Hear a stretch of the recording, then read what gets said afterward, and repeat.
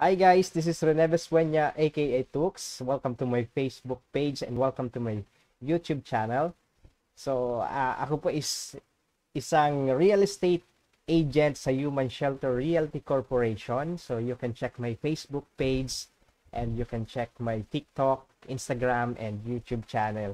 Okay, so ipapakilala ko po sa inyo ang ating pinaka-affordable housing located sa Santa Maria, Bulacan, and Nai, Cavite, Sontorais in Calamba, Laguna. So, ito si Pasinaya Homes, Pagsinag Homes, at Pagsibol Village. Pero ang i-discuss ko po muna sa inyo is si Pasinaya Homes. Si Pasinaya Homes is wala po siyang down payment, wala siyang reservation fee, wala din po siyang uh, other charges. So, ang 10K cash out lang po, pwedeng pwede ka mag-avail kung minimum wage earner ka basta may, may po-provide ka lang pong requirements, pwedeng pwede ka po dito. Pwede ang locally employed, self-employed, or OFW. So, 2,886 lang monthly. 2,886 na kasi siya, so hindi na yan updated. Okay, so, nag-increase na ng konti. Alam nyo na, every 3 months, is nag-increase. so, kung may pagkakataon kayong kumuha ng bahay, hanggat kaya nyo, you can start anytime. Just message me. Ano, limited units na lang po yan.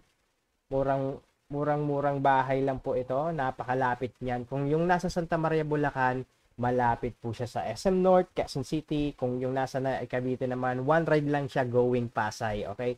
So, yung Kalamba, Laguna, Suntorise po yun. So, abangan nyo. Oh my God. My cat. Sorry about that. Okay, let's continue. So, si Pasinaya Homes is uh, can Mars. si Pasinaya Homes is meron siyang 30 square meters na lot area and 32 square meters na floor area. So, provision for 2 bedroom. Meron na siyang toilet and bath. And meron na din siyang um, meron na din siyang kitchen. At ito po is bear type turnover. Ibig sabihin po ng bird type, makakatipid po kayo dyan. Kasi konting-konti na lang po yung gagastosin nyo para sa tiles, paint sa loob. Pwede nyo itong gayahin, pwede po kayong mag-improve sa labas kahit na hindi pa po fully paid sa pag-ibig. Okay? So, ang turnover is ito po yung unit.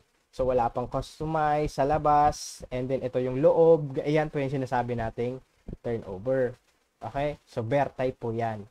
Yan. Malinis naman. Konting uh, palitada na lang sa mga ganyan. And tiles. Kahit vinyl tiles, mura lang po yun. 1,200 ang isang box. Yan. So, okay naman siya. Konti na lang. Yung toilet and bath natin, may konting tiles na. Pero kung gusto nyong i eh, dagdagan pa, good naman. Sa taas, kasya yung dalawang kwarto. Pwede kayo maglagay ng double. Mataas din po yan. Pwede kayo maglagay ng double deck. Okay? Yan. And ito yung ating computation. So, ito na nga. Ang presyo ng inner unit is um, 580,000. No down payment. No reservation fee. At ang kanyang monthly amortization sa pag-ibig is 2,886. Okay? So, hindi na to updated. Ilalagay na lang natin kapag ka naglabas na ng updated na computation. So, 580 to 886 ang monthly nyo, no?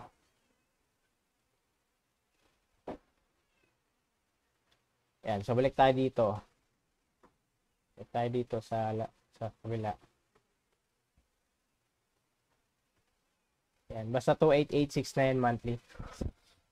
So, ang kailangan nating requirements, complete requirements, ESAB and MDF, kukuha po kayo sa Pag-ibig branch kailangan natin ng Certificate of Employment with Compensation. Kailangan din po natin ng 2 valid ID, company ID, 5 pieces of 1 by 1 picture. Tapos, kailangan natin ng 10K. Yung 10K is para yan sa um, processing fee, water installation, electric installation, advance move-in fee, yun. Ah, kagandahan dito sa Pasinaya Homes is magma-monthly kayo once na na-turnover na sa inyo yung unit. Doon pa lang kayo mag start mag-monthly. So, pag na-take out kayo sa pag-ibig, may no one na kayo or notice of approval, yun pa lang, ah, mag-start na kayo mag monthly kapag na-take out na kayo sa pag-ibig, okay? So, yun lang po. Napakaganda po nito kasi kung malapit po kayo sa Naikabite or malapit kayo sa Santa Maria, Bulacan or malapit din kayo dito sa Sulturize natin sa Calamba, Laguna, pwedeng pwede nyo po itong ah, i-avail kasi na, napakaganda ito. Wala siyang down payment. Up and down na din yung kanyang unit. Pwede din kayo mag-improve katulad po nito kagandahan is walang down payment. No, pwedeng pwede ang minimum wage earner, OFW, locally employed. Napakaganda niyan. Okay.